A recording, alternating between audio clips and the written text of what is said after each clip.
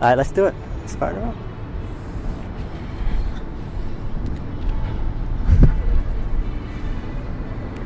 Nice and strong. There you go. Beautiful.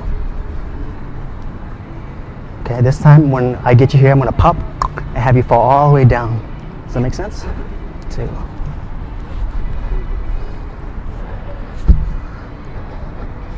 Strength. Hold it, Sarah. Noah's taking a photo. Beautiful. Popping two, one. Beautiful. Okay. Let's do uh, baby scorpion. Okay, variation of this.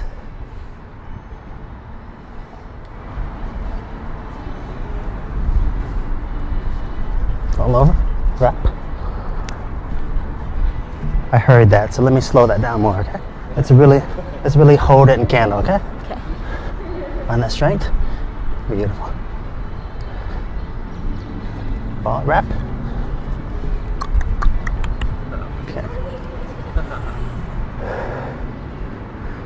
Okay. And a spotter, please, for the. If you guys find like you've, you're there and really want to push yourself, we'll try tadpole, okay? Which is another variation of uh, monkey frog, but reverse. So spot from behind, okay, Bill? She's gonna fall backwards towards you. Let's go towards the knee and lock. All right, Sarah. Woo!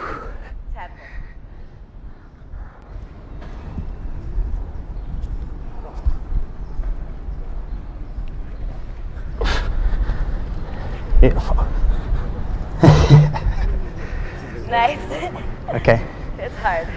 All right, beginners. Um, if you haven't based any of this, I want you to work on your candle presses. Okay.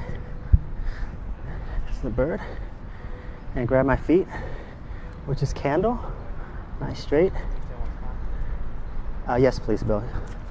Bill's gonna show you exactly how to spot this. So I want you to work on candle pressing, getting, getting your arm strength up to be able to do spider roll and scorpion roll. Squat, press. Okay, so do those. And back on.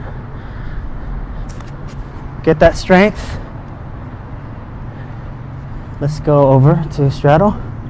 Okay, beginner bases. I also want you to do this one, pressing up. Oops, sorry. Stay there. Fall back to back to straddle. I'm just doing this push. I want you to practice this one here. Just pushing your flare because you'll need that for spider roll. Get that worked. Get up to here and falling back. And also do your waterfall presses. I'm just gonna press, okay? And if you if you fly super light, then use one hand, okay?